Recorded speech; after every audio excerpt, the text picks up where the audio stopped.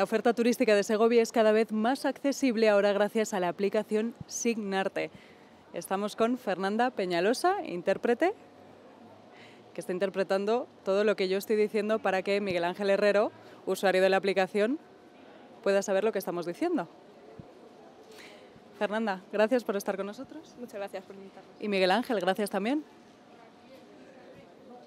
Bueno, de verdad esta, esta entrevista va dirigida a Miguel Ángel, que es el usuario de la aplicación Signarte.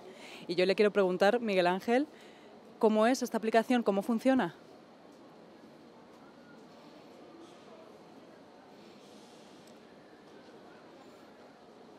Bueno, eh, comienzo presentándome. Yo me llamo Miguel Ángel.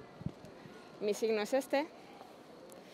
Y mi nombre es, eh, como te decía, Miguel Ángel Herrero.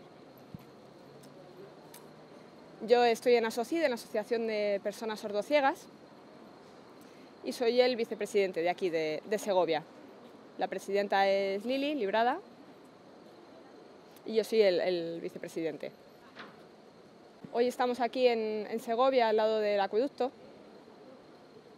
y aquí al lado tenemos la oficina de turismo, de información turística, para todos aquellos turistas que llegan a la ciudad es muy importante porque aquí es donde pueden concertar las visitas guiadas, eh, comprar productos típicos, etc.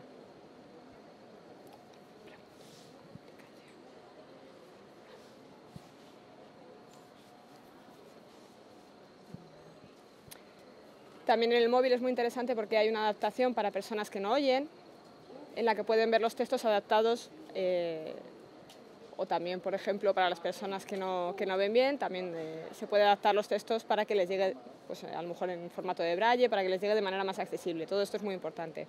¿Cómo funcionaría en el caso de que acuda a un museo, por ejemplo, aquí en Segovia? Pues, por ejemplo, si es una persona sorda o una persona sordociega, eh, la comunicación eh, se le puede hacer un poco complicada, entonces necesita ir con un guía intérprete o tener de alguna forma la información traducida. ¿Y ahora con la aplicación?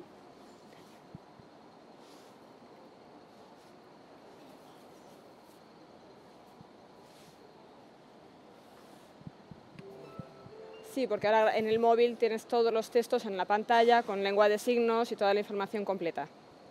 Y además eh, tiene una parte también que se llama Cerca de mí, que quiere decir que eh, los monumentos, museos que estén más cerca en un radio de hasta 100 kilómetros, también puedo acceder a ellos. Por ejemplo, si me encuentro en Madrid o Ávila, puedo saber qué museos o monumentos encuentro en Segovia.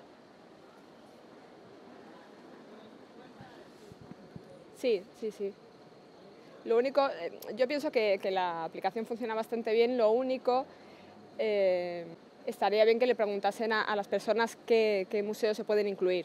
¿Qué cosas se podría mejorar de la aplicación entonces? Por ejemplo, eh, que se amplíe fuera de España, que no sea solamente en el territorio español, sino que se amplíe al extranjero también, eh, que se pueda hacer a lo mejor algún tipo de videoconferencia en lengua de signos para, para comentarlo, etc.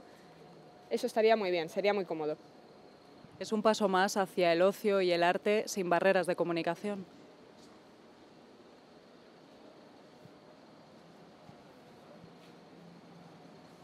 Sí, eso es, eso es.